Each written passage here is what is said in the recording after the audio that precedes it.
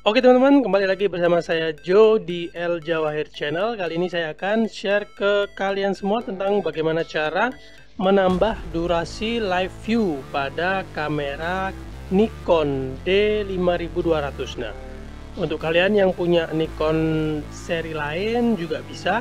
Oke, jadi apa sih fungsi untuk memperpanjang durasi live view? Jadi jika teman-teman mempunyai kebutuhan untuk live stream ataupun untuk webcam, dan menggunakan perangkat Nikon D5200 atau yang lainnya agar tidak otomatis mati dalam durasi tertentu. Nah, kebetulan untuk Nikon D5200 ini durasinya maksimal 15 menit. Jadi akan otomatis mati jika kalian tidak menggunakannya atau menstandbykan kamera ini. Oke, jadi langsung saja kita ke tutorialnya.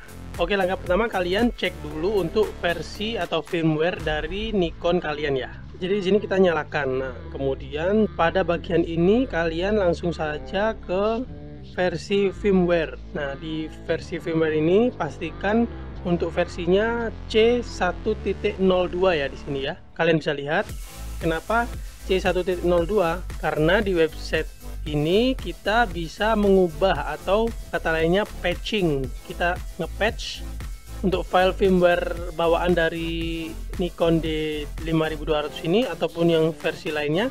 Ini bisa lihat di sini akan merubah live view yang tadinya 15 menit menjadi no time out atau tidak terbatas ya. Nah untuk versinya di sini maksimal versi 1.0.2 nah itu kenapa? Kalian mesti merubah firmware-nya ke versi 1.02 oke jika versi firmware dari Nikon kalian belum 1.02 kalian bisa ikuti tutorial berikut. Jadi kalian masuk ke website ini ya. Nah untuk websitenya saya sertakan di kolom deskripsi ya. Kemudian kalian untuk pengguna Windows download aplikasi ini ya. Kemudian untuk kalian yang menggunakan Mac bisa pakai ini. Oke. Kita langsung saja download ya untuk filenya. Ya oke. Kemudian kita langsung mulai unduh. Nah. Kita tunggu.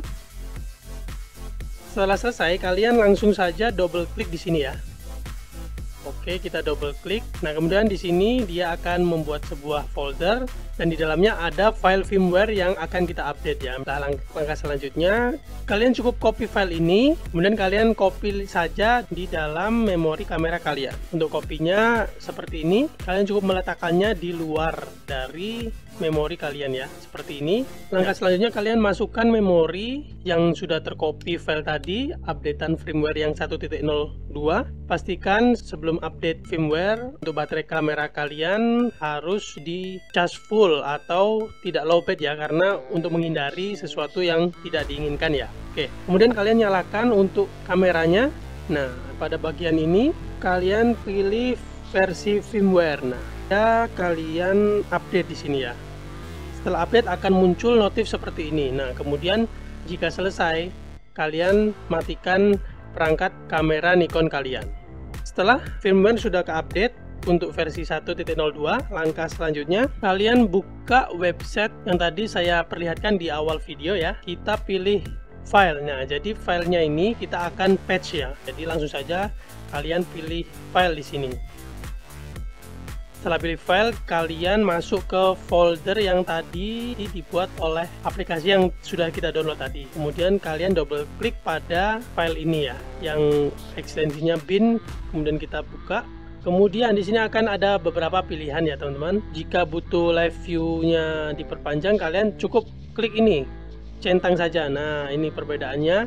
Jika sudah tercentang atau kalian pingin semuanya ya fitur-fitur yang ada di sini jika sudah kalian centang kalian langsung saja klik save patch firmware file oke? Kita tunggu prosesnya. Nah kemudian patch yang tadi sudah terbuat secara otomatis di website ini ya. Nah ini dia file patch yang telah kita download tadi yang sudah dioprek di website ini ya. Sudah di patch ya. Nah kemudian teman-teman rename untuk file patchnya ini. Dari sini kalian hapus ya teman-teman nah jadi penamaan filenya seperti ini ya. Kemudian teman-teman langsung saja copy file ini yang ini ke dalam memori teman-teman yang tadi ya. Teman-teman copy di memori SD card tadi. Nah oke setelah kalian copy untuk file yang sudah di patch tadi langkah selanjutnya kalian masukkan memori Nikon kalian ke dalam kamera. Kemudian kita akan memasuki proses install firmware kembali. Oke setelah setelah menyala langsung saja install firmware yang sudah tadi kita copy di dalam memori ya. Kemudian kalian langsung saja klik update. Nah pastikan untuk baterainya kalian jangan sampai kehabisan ya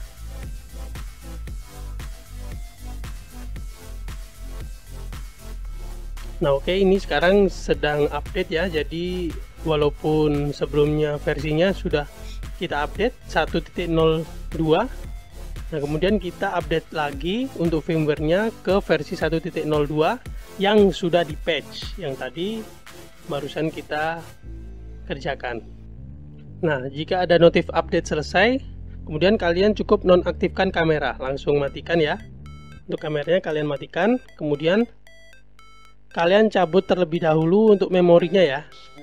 Nah tunggu mungkin sekitar 5 detik. 1 2 3 4 5 nah kemudian kalian bisa masukin lagi untuk memorinya. Kemudian kalian nyalakan untuk perangkat kameranya. Nah kemudian kita cek lagi untuk versinya.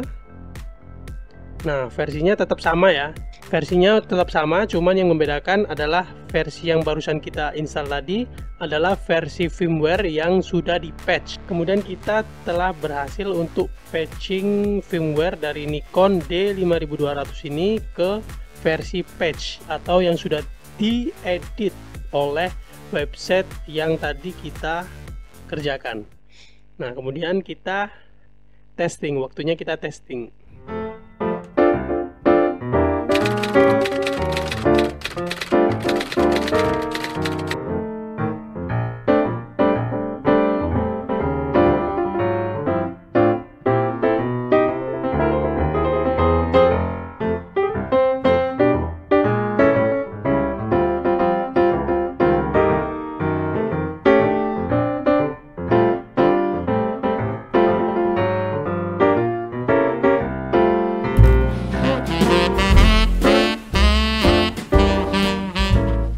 Oke teman-teman, jadi itu saja yang bisa saya share ke kalian semua. Semoga bermanfaat ya. Semoga perangkat Nikon kalian bisa digunakan sebagai webcam ataupun untuk live streaming ya.